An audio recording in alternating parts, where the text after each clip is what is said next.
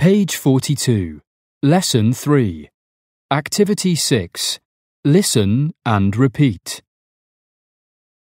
How many clocks? Two.